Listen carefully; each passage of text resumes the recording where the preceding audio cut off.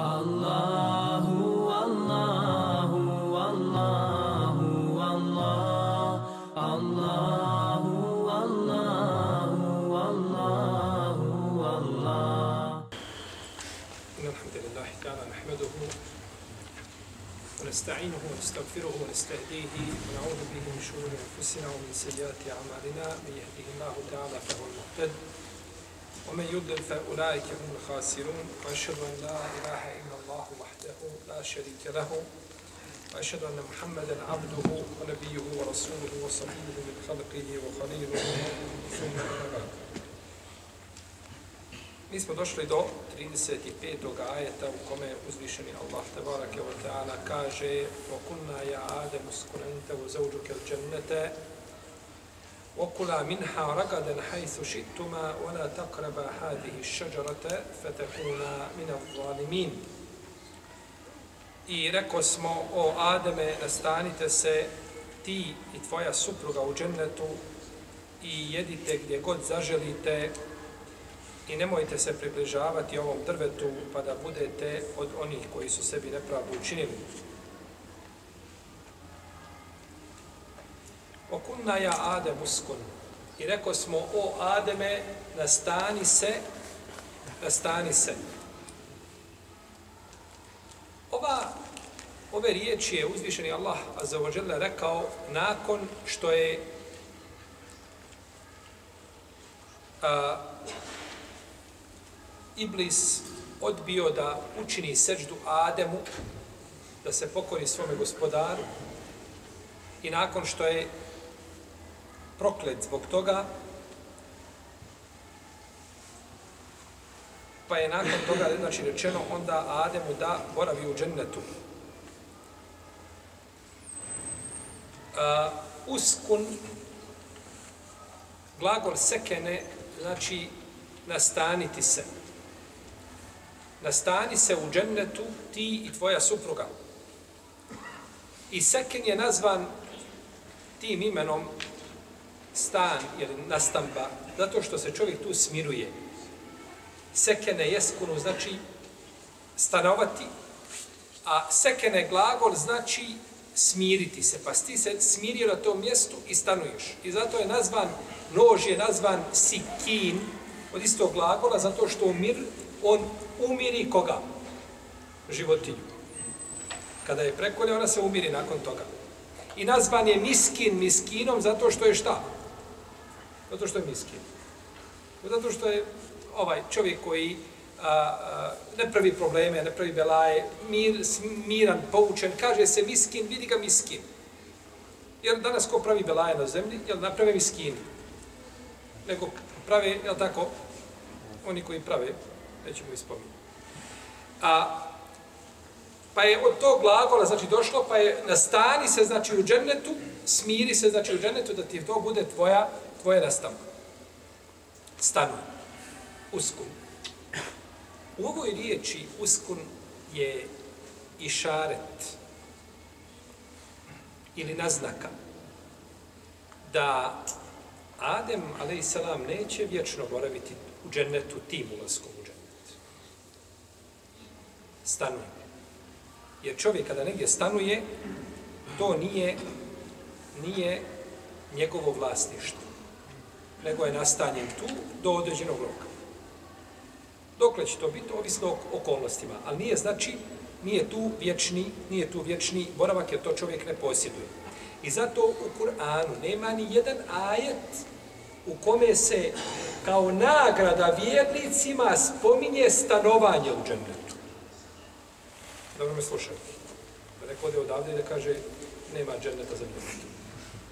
Nema nagrade stanovanje u džennetu. Nego je za nagrada lehum džennatun teđrimita. Njima pripadaju dženneti. Ovaj lam u arapskom lehum. Lam, to je, to kažu a, lingvističari da je to lamu temlik da je to a, lam za posjedovanje. Ti posjeduješ šta? Džennet. Hoćete neko istrati tvoga stana? stana. Naravno, ovaj je biti siguran nikada. Međutim, tvoje je nešto, kada je tvoje vlasništvo, ti si u stanu i ne možete niko istrati odavle, jer je to tvoje. I zato se kaže njima pripadaju dženneti. Znači njihovi će biti ti dženneti gotovo kada je tvoj, onda nećeš više izlaziti. Ali ovdje se kaže stanuje Adem u džennetu. Nastani se. Dokle? To je drugo. Pa je, a, znači, došlo ovdje da će Adem da se nastani u džennetu i još jedan dokaz da Adem neće vječno boraviti u ome, u ome džennetu, e, neće vječno boraviti u ome ulasku u taj džennet, je, jesu riječi uzvišenog Allaha a, ona takreba hadi šeđarate i nemojte se približavati ome drvetu. Kako je to dokaz da neće vječno boraviti? Dokaz je zato što tu ima zabrana. A čovjek kada uđe u džennet stalnim ulaskom završni, nema nikakve šta? Zabrane ograničenja. Zašto mu duša poželi tu je? Neće mu nikad biti kazano ovo smiješ, ovo, ne, ovo je džennet, džennetska zabrana, nema zabrana. Niti čovjeku na um pasti nešto, da čini nešto što, što bi eventualno moglo biti zabrano. Nego je znači dozvoljeno da čini i ono što mu duša njegova bude poželjela, njegove oči, to će, to će imati. Pa je nagrada, odnosno e, boravak u džennetu u kome nema zabrana je onaj a, završni ulazak u džennet kada nakon njega više nema ulaska. Nema izlaska i nema ulaska. A to je znači na sudnjem, a to je na sudnjem danu. Pa je ovdje, u ome ajetu je i šaret na dva načina da Adem neće tim ulaskom ostati šta? Vječno u, u džennetu. Neće ostati vječno. I to je preciznost ovaj kuranskog govora. Znači da svaka riječ ima ovaj, moglo se reći nešto drugo, mimo ovoga glagola da dođe nešto. Ali bi dalo drugo šta? Drugo značenje. A to nije znači, znači ciljano, nego je došlo, znači ciljano spomenuta je riječ sekene. Znači, da ukaže da će jednog dana Adem izaći iz dženneta u tom slučaju, a čovjek, kaže učenjaci, kada nekome nešto da pod zakup ili da stanuje negdje, to ne postaje kod većine učenjaka njegovo vlasništvo, nego ima pravo, onaj komu je to dao kao zakupninu, da ga uvijek odstrani, dok istekne vrijeme ili prije toga, ako se nagode, isteče to. Neće postati, znači, njegovo vlasništvo. Pa Adem ulaskom u džennetu više nije njegovo vlasništvo, znači može, biti, može izaći iz dženneta, pa kad drugi put uđe u džennet, e onda je to vječni ulazak nakon koga nema izlaska. Nakon koga nema izlaska. Ente o zeuđuk. Stanuj ti i tvoja žena ti i tvoja žena. Ovo ukazuje na bliskost supružnika i bračne veze.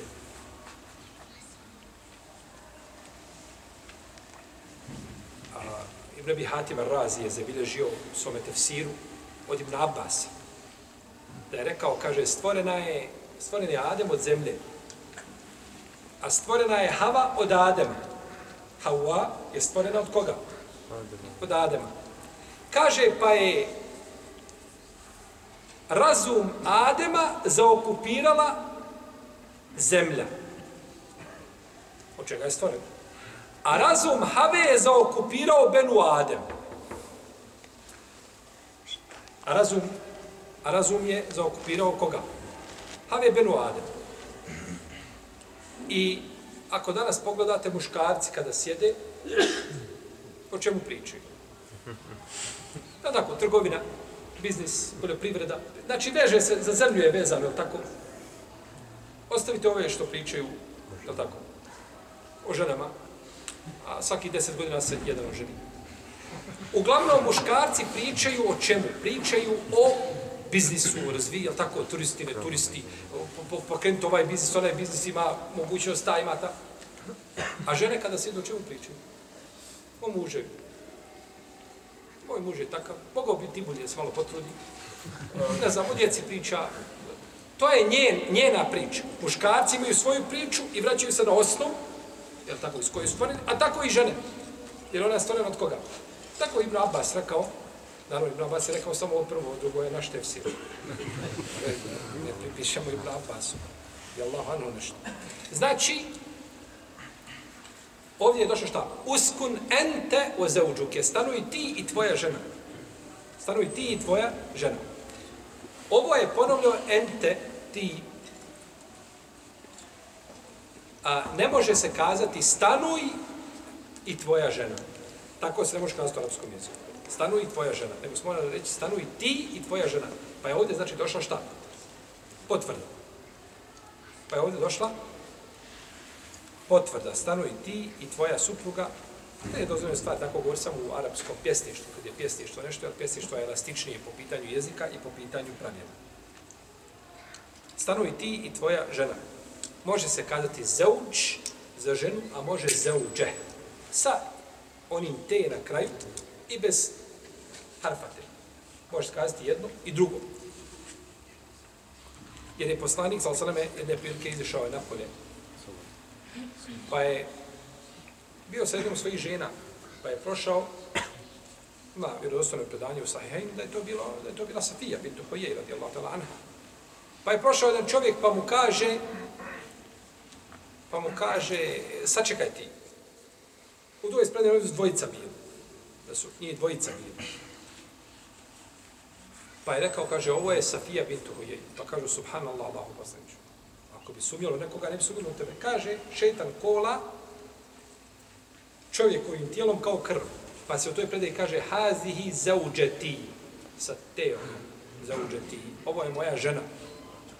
A može se kazati Aisheta, Aishetu, zauđu nebiji, sallallahu sallam. Pa znači imamo dva načina izgovora riječi supruga u arapskom jeziku.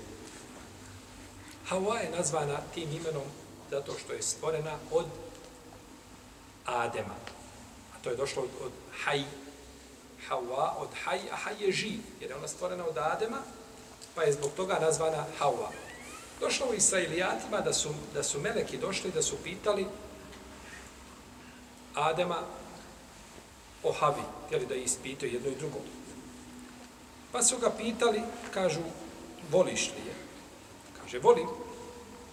Pa su ošli pitali nje, kaže, da li ti voliš Adema? Kaže, ne volim.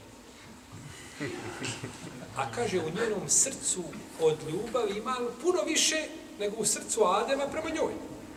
Ali je kazala šta? Kaže, ne volim. Pa kažu da je žena bila iskrena sa, ikada sa mužem, bila bi Hava sa Adem. Ili da je Adem, da je Hava bila iskrena sa Ademom, bila bi žena da je iskrena sa mužem. Tako? Ovo je Israilijati, ovo nije potvrđeno. O, o, ove, ove predaje, niti ih poričemo, niti ih šta? Potvrđujemo. Ni jedno, ni drugo. Nego kažemo, Allah zna. Jer oni nisu ni potvrđeni, negira našim šerijom. Međutim, to je priroda žena. Tako. Kaže, samo da ga ne vidi. Samo da ga moje oči ne vide. Ma samo neka ide kud hoće. Neka go, da čuje napolje policu da je platio kaznu zaplakala. Ne kazio, saobraćaju, prekršaj da napravio, da ga je trno u boka, zaplakala bi zbog toga. Ali ne, nego mu daje šta? Daje mu uvijek na kaškicu. Neće da se otvori. To je priroda žene. Neće da se otvori kao muškarac, odmah on sve što ima, oni strese tu na gomilu. Odmah. Po žene to nije tako. Žena to radi drugačije. Ona drugačije, ona razmišlja dugoročno. Jer problem je kod muškaraca, muškarac kada govori, on priča i on voli da bi dobio. A žena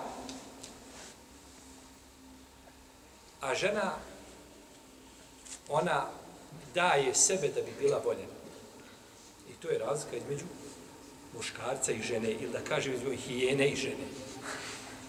On priča, tako govori, med mu susta curi. A u stvari to radi samo jednog radi jednog cilja, da bi dobio. Bilo da se oženi, bilo da je A žena kada, ona kada sebe daje, ona sebe daje miskin kada bi bila voljena. Pa kaže ovdje Hava šta, kako došao sa Elijatima, kaže, ne volim ga. A u stvari kaže u njenom srcu puno više ljubavi prema njemu nego u njegovom prema, prema njemu. Kaže Ibn Mes'ud, Ibn Abbas, da je Hava stvorena a, da je Adem, ali sam zaspao u džennetu, pa je vidio a, pored, nakon toga je vidio pored sebe stvorenje. Kaže, ko si ti? Kaže, ja sam tvoja žena. A kaže da je stvorena bez bola, da on nije osjetio bol nikakav kada ona stvarala od njega. Kaže da je osjetio bol, ne bi je bolio. Ne bi, ne bi osjećao, osjećao, osjećao znači, ovaj ljubav prema njemu. Kaže, dobro, kaže, ja sam stvorena, kaže, od tvoga kratkog, od tvoga najkraćeg rebra s lijeve strane. Te, kaže, od toga sam ja stvorena. Tako je došlo opet u Israilijatima, znači, kaže da bi ti stanovao ovaj u meni, znači da bi se smirio uz mene i da bi imao prijatelja životnog saprotnika. I u tome smislu je ajet koji uzvišen Allah kaže Uvalladhi halakakum min nefsim wahidatin uvalladhi halakakum min nefsim wahidatin wa ja'ala minha wa khalaqa ili ja'a wa ja'ala minha zawjaha liyaskuna i ona se stvorio od osobe jedne i od nje a, i od nje njegovu drugu stvorio da bi se uz nju smirio. I Ulema kaže a, da je a, žena onako kako je stvorena. Ona je stvorena od rebra. I ako je čovjek koristi takvu, a kaže rebro je naj, e, najkrivlji, njegov dio je njegov kraj. I ako je koristi kao takvu, koristit će mu. A ako je pokuša ispraviti, slomit će A njen lom je talak o kesruha talakuha. Da, lom, znači žene je talak da joj se da. Jednako toga žena na neki način ostaje na cjedilu i ostaje igračka žena nakon razvoda u često slučajeva, naročito danas u arapskom svijetu, postaje igračka u rukama hijena, koje smo spomenuli. Nakon razvoda, njena vrijednost je upola manja ili više od toga i onda nakon toga se poigravaju sa muslimankama kao da ona gubi svoju čednost i svoju čast nakon što je dobila razvod braka. Pa žena nikada neće biti onako kako bi čovjek volio. Nego mora znači imati razumijevanja prema ženi, prema njenoj prirodi, a naročito mora imati razumijevanja prema ženi kada je u hajcu. I tu veliki broj muškaraca griješi i najviše problema nastaje u braku dok je žena u ciklusu. Ona je u ciklusu u posebnom stanju, krvari, to je vid bolesti, ako možemo tako kazati, iako s medicinskog aspekta nije to možda bolest, i razdražljiva je, ljuta je, lahko se iziritirati je lahko, ne znam, lahko reaguje, a on nema razumijevanja šta joj je. Ne zna što se dešava. I onda tu nastanu problemi. I onda se ti problemi preslikaju i na period kada je čistoća i eto, ne, to, to ne ide tako. Čovjek mora, znači, imati razumijevanja kada je žena u vremenu ciklusa. Naravno, hadis u kome se kaže da je, da je Hava stvorena od krivog rebra. Taj hadis nije ispravan. Ono što je došlo u dva sahiha je da je Hava stvorena odatle. Da je stvorena od Adema. Da je stvorena od rebra Ademu. Da. Ali krivog rebra ne. Nije tako rečeno u hadisu.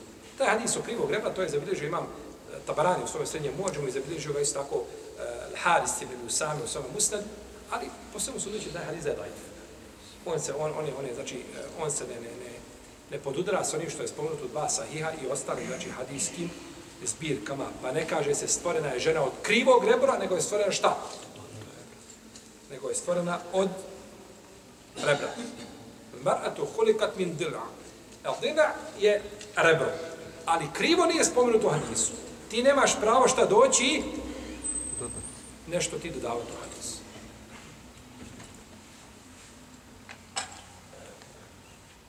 Kao hadis uh, el mu'minu lil mu'min kel bunjan il mersus je šuddu ba'duhu ba'du. Da je šta? Da su vjernike vjerniku kao zdanje, jedan drugog podu. mersus je došlo u Kur'anu nema u hadisima mersus u hadisu je došlo el mu'minu li mu'mini kel bunjan je šuddu ba'duhu ba'du Vjernik je vjerniku kao zdanje, jedan drugog podupiru. Nema to mersus, to čvrsto, nije spomenuto hadisu. Nemaš pravo ti doći šta? Da ti dopunjavaš hadis. Hadis je takav i ciljano je došao takav i ne može drugačiji biti nikak. E tako isto šta i ovdje. Znaš što to dopunjavanje pravi je posebno probleme. Tako.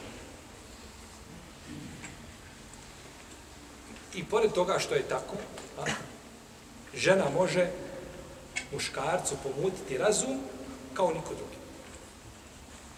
Došlo u hadise Busida Hudrija da je poslanik, sam sam rekao, kaže, kaže, mara ra'eitu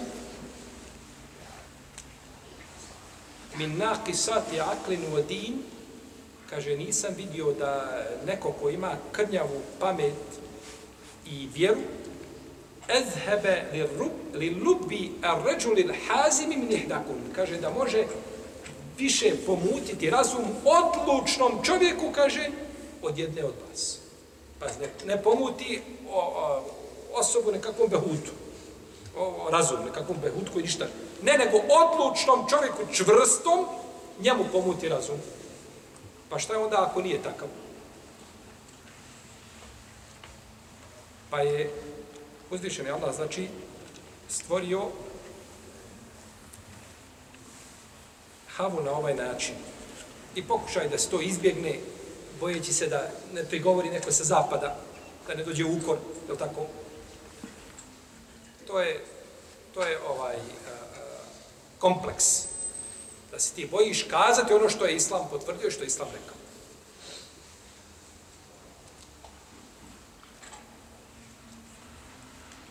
Naravno, mu Fesini se razilaze, razilaze ovo, ovaj boravak u džennetu.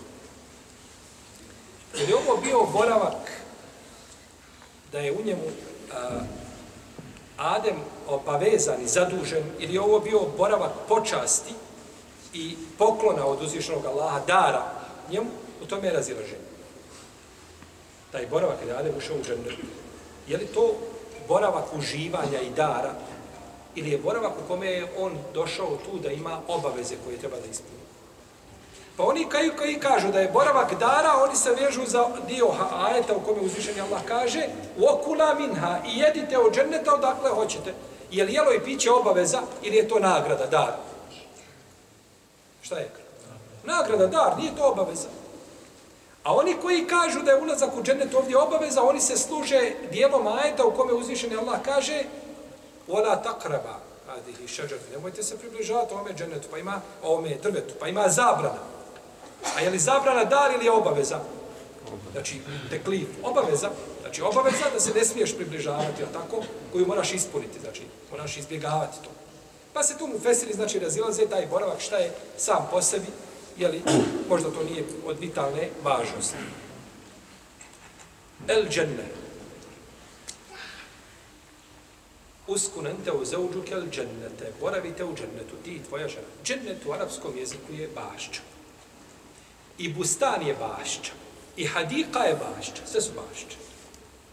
Međutim, džennet, da bi se nešto nazvalo džennetom, mora u sebi imati palme i mora imati, mora imati lozu grožđe. Ako nema toga, nije džennet. A hadika je nešto što ima džennet koji, ili, ili vrt koji ima ogradu ili zid. A bustan je džennet ili, ili, ili vrt koji nema čega. Nema ograde. Pa kad kažeš prodajem ti ovaj hadiku, ja znam da ti imaš, mora, imati, mora biti ograđeno. Mora se znati koliko je moje. I ne možeš me dovesti i kazati ovo je hadika, pa kaj, gdje je ograda? Kaj, pa nema ograde. To je, pa nije onda to hadika, to je pustan. To je nešto drugo. Stanuju u džennetu. Naravno, imamo mišljenje kod Mu'tezila i kod Kaderija da je ovo bio, da je ovo stanovanje bilo u džennetu koje je na zemlji. Džennet je ovaj, u kome je stanov bio gdje? Nije ovo džennet vječnosti u koga će vjernici ući. I oni imaju dokaze za ovo, o čemu šta govori. Oni imaju dokaze. Prvi dokaz je da uzvišen Allah kaže La labun fiha wa la Kaže u džennetu nema praznih besjeda i nema pobuda na griješenje. I uzvišen Allah kaže La jesmeune fiha lagwan wala kizaba i u džennetu neće slušati beskoristan govor i neće slušati laž. A jesu slušali laž? Jesu. Jesu. Slušali su laž od šeitana. Tako. I nema pobuda na griješenje. Kako ste mogu Adem, kaže uzvičen Allah, u džennetu nema griješenja, a Adem šta? Adem činio grije.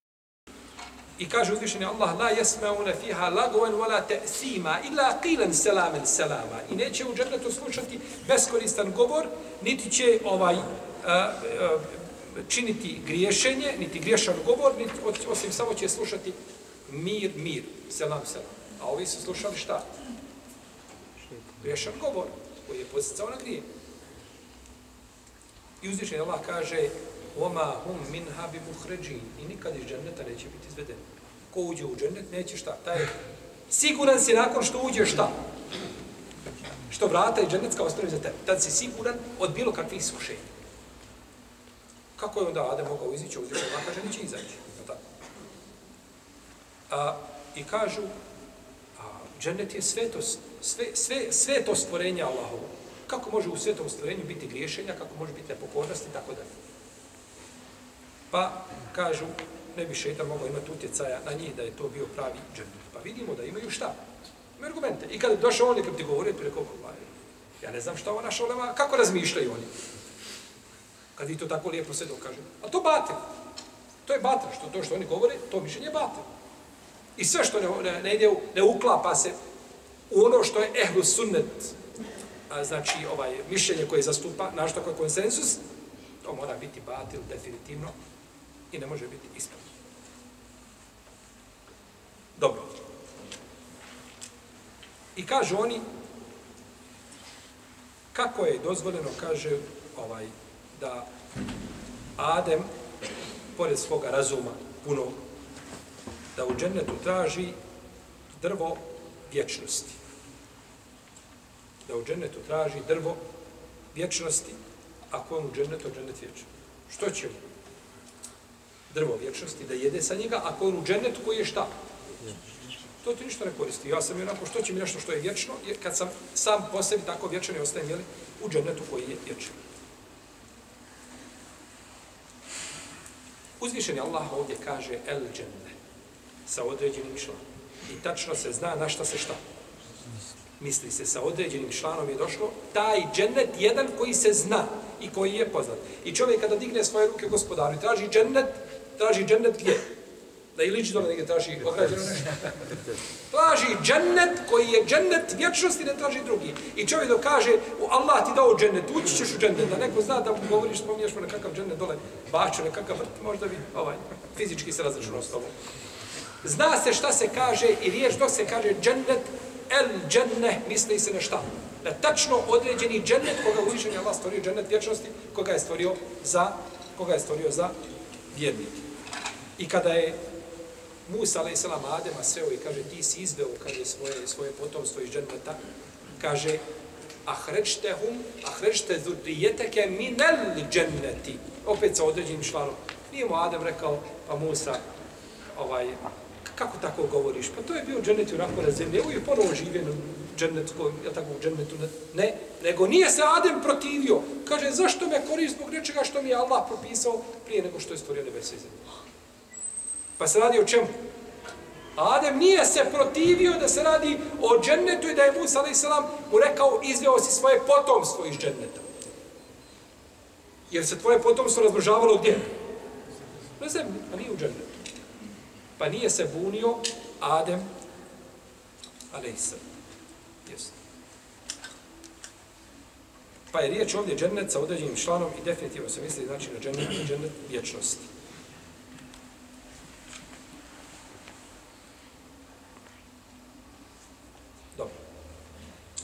Oni kažu da u džennetu nema spomenuto, nema slušanja ovoga, nema, sluš, nema slušanja praznog govora, nema griža. To je tačno.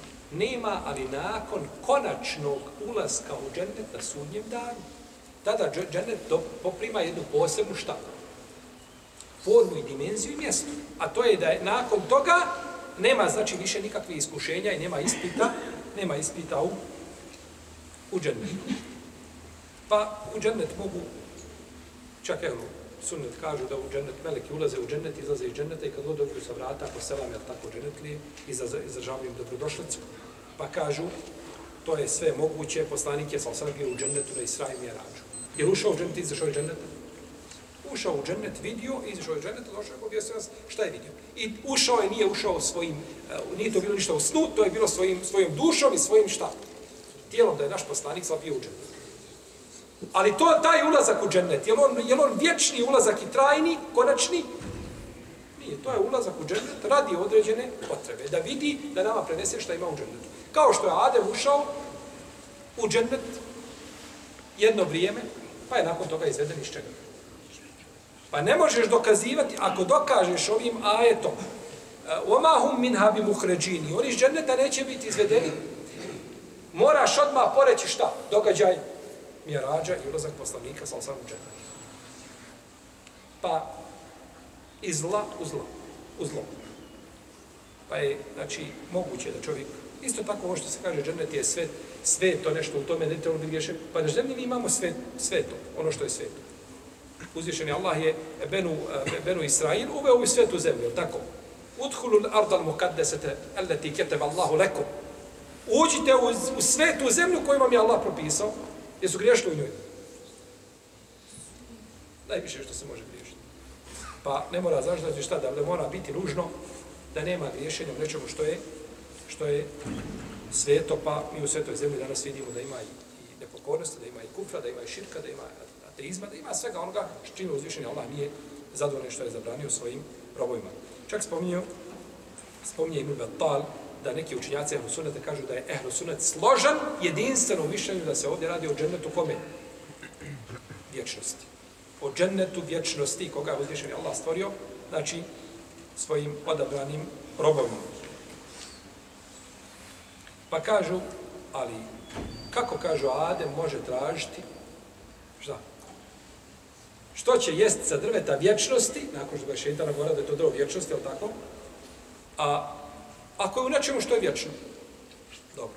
Mi im kažemo ovako. Isto pitanje ćemo imamo postaviti. Kako je logično da Adem, pored svoga razuma i, i mjesta koje ima kod Allaha, kako da traži da u kući prolazno jede nešto što je vječno? Zna da je to prolazna kuća, to ne može ostati vječno. A koja je to kuća? Gdje?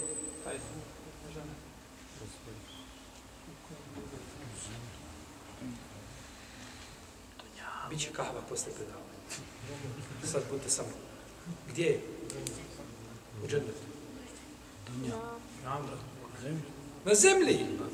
Pa kažemo da mu atezile. I kaderije kažu da je, da je Adem boravio gdje?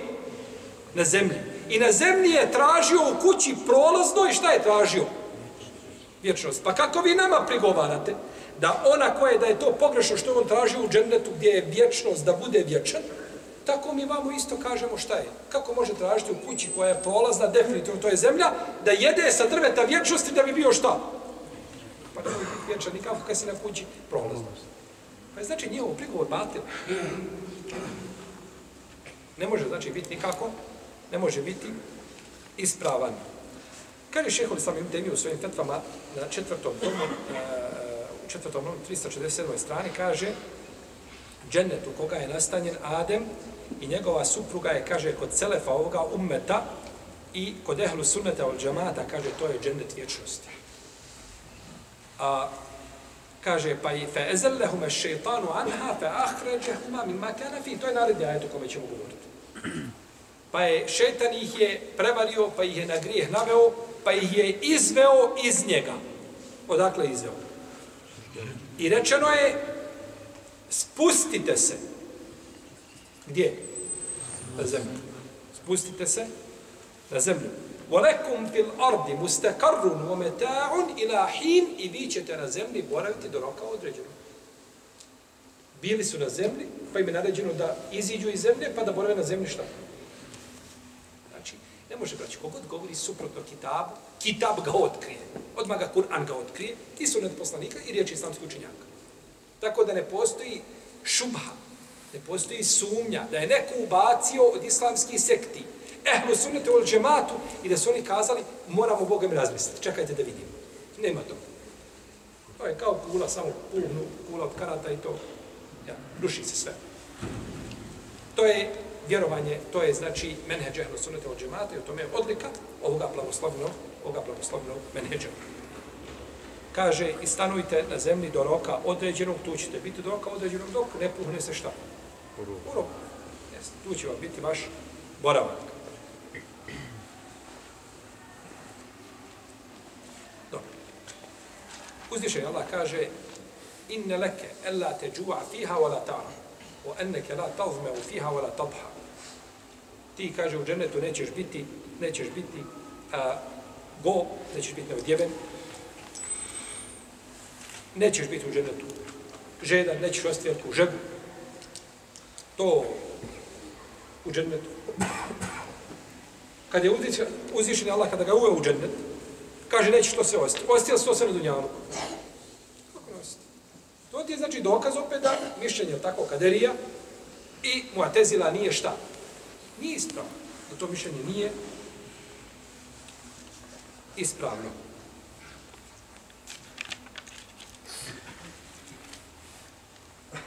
Kada je na sudnjem danu, kada bude bilo za šefat, doće ljudi kod oca pa će kazati, oče naš Ademe kaže, traži da se uđe u džennet, to je tako da se, da se počne s obračunom i ulazak u džennet, bit će taj šefat, šefat ulozba koji će biti, tako, striktan za poslanika sa osrame. Pa kaže, za vas je, kaže, iz dženneta izveo osim grijeh vašeg oca. Za vas je iz dženneta izveo šta? Iz kog dženneta? Dženneta vječnosti. Nije sad u njaluka nikoga izveo. Tu si, koliko god da griješi ostaje, ostaju ljudi i bit će im obračun. Pa je, znači, to dokaz da, da, je, da se radi o džennetu vječnosti. Okula minha ragaden hajsu čiktuma i, red, i jedite iz dženneta a, a, mirno, spokojno, sve što vam duša poželi i sve odakle, odakle želite. Ovdje se kaže regaden hajsu šiktuma, a ima i mutevatir kirajet kome se kaže regaden hajsu šiktuma sa sukunom na gajmu regaden i ragden. I to je mutevatir, kirajet, jeli, u vezi s ovim. A ragad je lijep, udoban život u kome nema nikakve tegoba. Ovdje da bijeo, samo, jel da, nekome je muka jest, nije da jede. U džennetu to nije tako. U džennetu znači nema ni, nikakve muke nema. E, to je taj džennet, pa Adem, ali i selam, ako je došao na Dunjaluk i ima taj ragad, tako lijep život, to bi onda bio, znači, džennetsko jedno svojstvo na Dunjaluku, to je nemoguće. Pa se džennet u svemu razlikuje i zato na, u džennet, na Dunjaluku nema apsolutnog uživanja ni u čemu. I sve to uživanje mora prekinuti. Tebi kada je najdraže mora šta? Prekinuti, tako? Tebi najdraže i ono šta? Prekine serija. turska serija, ti gledaš. Tako je kod određeni ljudi. Ja. Njemu kaže, sad baš kad je najljepše, kažu nastavit se. Čovjek jede, jedeš, ne znam, najljepše, najljepšu hranu ti neko servira. Najljepši hljeb, najljepše, ne znam, ovaj, meso, ne znam, kolač najljepši. Kada pogledaš odakle je to poteklo, da je došlo u tom obliku, tu je neko znoja i znoja taj kolač od one prve zrna pšenice u zemlju koje se mora staviti, pa nadalje da to je tako da se to izraste, pa da se požije, pa da se samelje, pa da dođe, pa da se nađe neko stručan da to uradi, pa šporeti, pa struje, sve, nema apsolutnog uživanja, uživanja na dunjalu. I zato ko sebi hoće da napravi džennet na Dunjaluku, on nije shvatio prirodu njalku, on samo muka imati problem. Toga nema ovdje, to je na drugom mjestu. jedite odakle želite. Vola takrava hadihi šađarate i nemojte se približavati ovom drvetu. Nije rečeno nemojte jesti od ovog, s ovoga drveta. Nego se kaže šta? Nemojte se približavati. I u tome je preventivno pravničko sankcionisanje. Nemoj se približavati. To šta znači u našem vremenu? To znači nemoj čatati. Nemoj tamo imati na Viberu prijatelja nekakvog kojim ćeš kontaktirati, ali tako, koji je suprotnog pola. A nije ti mahar, nisi mu mahar. Nemoj dogovarati termin, nemoj pričati, nemoj nikakve komplimente davati, nemoj se približavati zlu, jer kad se približiš, ti si gotov. Nemoj samog sebe ispitivati. Nemoj kazati, ja, redovan sam na džami, na namazima, ja idem na predavanje, ja slušam. Nemoj raditi nešto što te... Ona takrebu zina. Nemojte se približavati nemoralu. Nije rečeno nemoj činiti nemoral. Nemoj se približavati. Sve što te vodi ka nemoralu, ni i selam, i kelam, i osmije, i termin, i ništa. Jer te to vodi do čega? Do nemoral. Pa zato šerijat znači zaustavlja te, znači, ovaj, to zlo zaustavlja ga u njegovom korijenu na početku, a kada to poprimi maha i kada to krene, onda to je teško zaustaviti. Ona takreba hadih iz i nemojte se približavati ovome, ovome drvetu.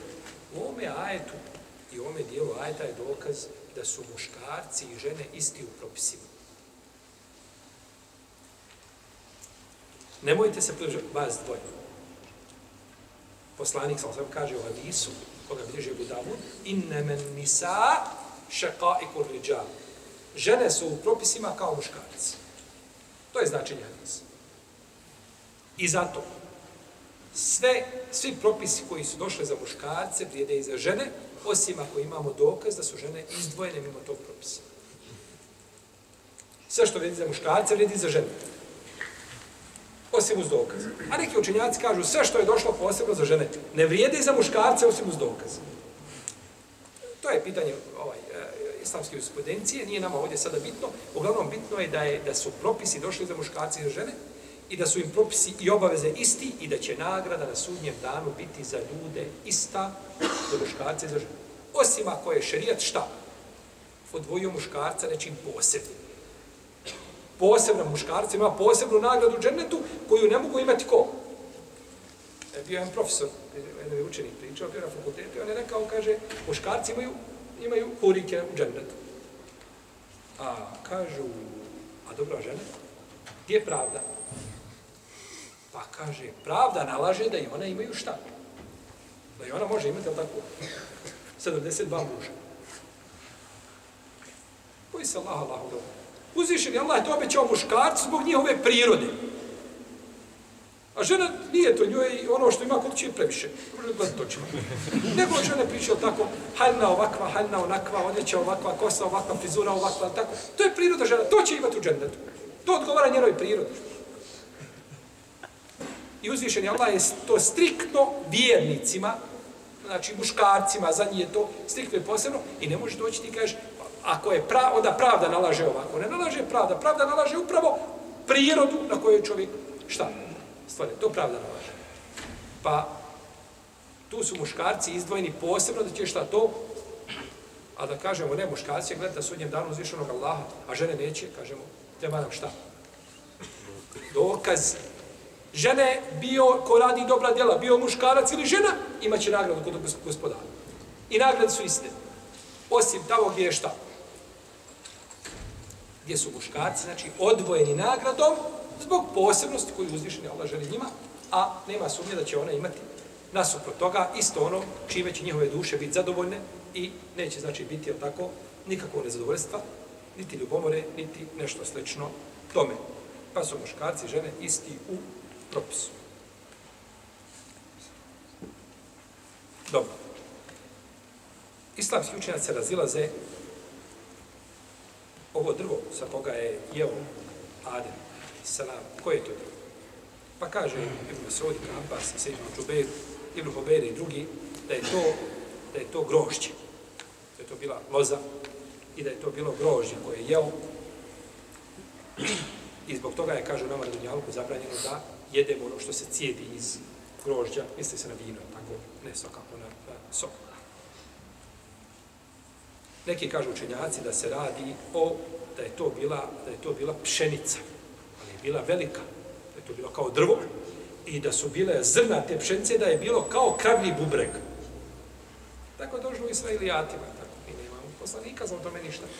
Tako da postoji mogućnost, niti poričemo, niti šta, niti negiramo. Postoji mogućnost da je to bilo, a postoji mogućnost da postoji mogućnost da nije. Pa kažu kada ovaj da je da je bila eh, da je bilo e, ta ta ta, ta pšenica tako da je bila slađa od meda i da je bila mekša od od masla. Znači bila jednostavno tako za konzumirati. Pa je zbog toga, kaže uzvišeni Allah, učinio da to bude osnovna hrana sinovima Adamovim, jel tako, na ovoj zemlji, a to je šta? To je pšenica. Neki kažu da je to bila smokva. Da je to bila smokva. I zato neki muabiri kažu, oni tumači snova, ko vidi smokvu u snu, da je to kajanje. Vraćaju se na koga? Na, da je Adem pojao, je li tako, smog. Pa se kajao nakon toga. Kaže Ibn, kaže Ibn Atije, Ibn Atije, Vendelusi, poznati u Fesiru, a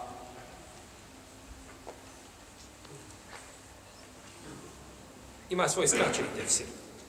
Tako ga nazivamo, skraćeni tefsir u 16. tomova su obliki. Skraćio, napisao, nije teo da nas šta?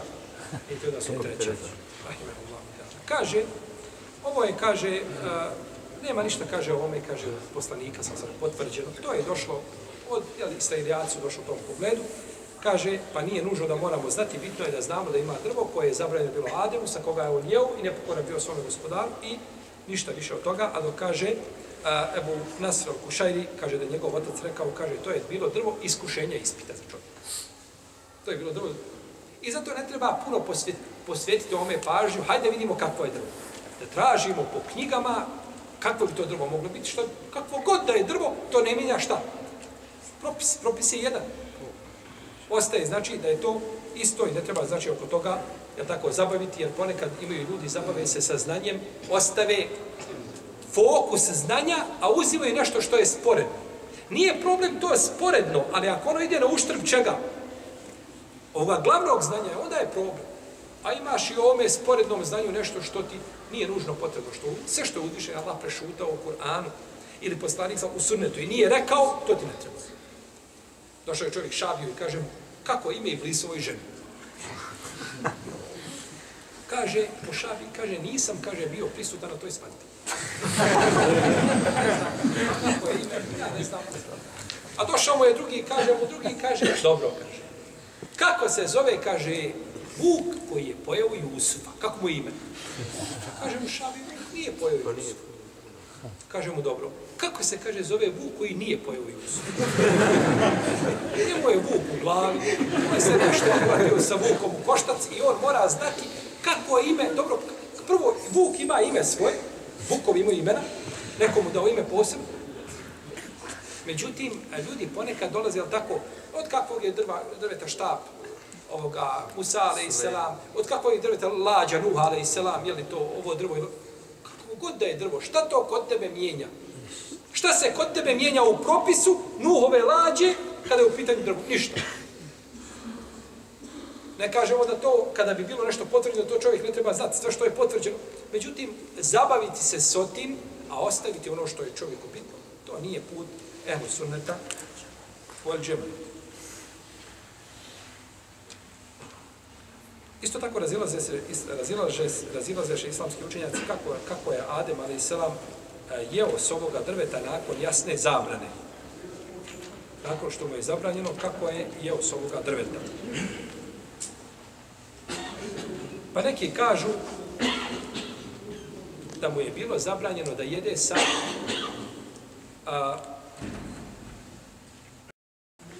da su oni shvatili da je zabranjeno da se jede jedno drvo. S jednog drveta je zabranjeno jesti, a mimo toga nije došla zabrana. Iako je bila ista vrsta. Je tako? Imaš ispred sebe, ne znam, deset krušaka, deset stavala i kaže ti neko, ne smiješ jesti ove kruške. I okrenu se on. Jer on misli ne smiješ jesti te kruške ili sa svih ti stabala. Kako je to Adem, ali razumio? Pa kažu da je razumio na ovaj način. Jer neki učenjaci kažu ako bi čovjek rekao da neću jesti, kaže, ovaj hljeb, kažu, ne smije nikako jesti vrstu tu hljeba. Ako je pšenični, gotovo, ne smiješ jesti, ako je, ne znam, ovaj ili onaj, heljin, ne smiješ nikako jesti. I od bilo što je napravio od heljina, ne smiješ ti to šta, konzumirati. Međutim, poznato je kod hadijski uče, ovaj, kod, kod fakiha, ako bi čovjek kazao za određenu stvar da je neće i zakleo se misli na to konkretno, a ne misli na tu vrstu. Pa kažu, pri Ademu je bilo ovo što smo spomenuli. Znači, bilo je da mu je zabranjeno jedno drvo i na njemu je pokazano, a on je shvatio da može jesti sa drveta koje je slično njemu. Međutim, ovo mišljenje, iako ga je autor odabrao, imam Kurtobi je nakon toga odabrao ovo mišljenje, nije ono jako. Nije jako, zato što je spolja, nemoj jesti s ovoga drveta, pa su jeli s toga drveta. A nisu jeli sa drugog drveta. Pa je ispravno da je to bila greška, jel, Adema, ali i sam. I onda islamski učenjaci iz ovoga izvode razna, razne, kaže kada bi čovjek rekao da neće jesti, ima pšenica, kada neće jesti ove pšenice. I neko to sameni, nakon vidite, smije. Smije ili ne smije? Razilaženje veliko među islamskim pravnicima. Jedni kažu mora se iskupiti, drugi kažu ne mora se iskupljivati, jer nije jeo šta? Pšenicu, nego drugi kažu, oni koji gledaju u smisao, to je kod njih isto. Nije jeo pšenicu u tom obliku, on u stvari je jeo šta od te pšenice, isto je. Imamo učenjake koji kažu, ne, Adem, ali Islam je ovdje shvatio zabranu da to nije kategorička zabrana, to nije haram, nego da je to šta? Niži stepen, to mogu biti mekru. Nije kategorička zabrana. Jer mi znamo da naredba u šarijetu može biti ili fard, ili sunnet, ili mubah. A zabrana može biti ili haram, ili mekru. Zabrana ne može biti mubah. Ne može doći negdje zabrana u šarijetu i kaže se ovo je zabrana koja je dozvoljena.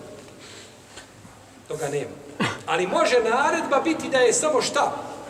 Muba. Uzvišen Allah kaže o idha hameltum festadu a kad se oslobodite i hrama kada iziđete iz obreda lovite naredba. Je li čovjek obavezan da lovi posle hađa? Je li to sunnet da lovi? Muba. Ali je došla naredba nakon zabrane. Pa kad dođe naredba u šarijetu nakon zabrane, onda ona nije na stepenu ni vađiva, ni stepena šta? Sunneta, nego je muba. A neki učenjaci kažu, vraća se ta naredba, vraća se ta naredba koja je došla posle čega? Posle zabrane, ona se vraća na ono što je bila prije čega? Prije zabrane. Ispred Ovako. Ostavimo sad lovu. Možda ima lovaca.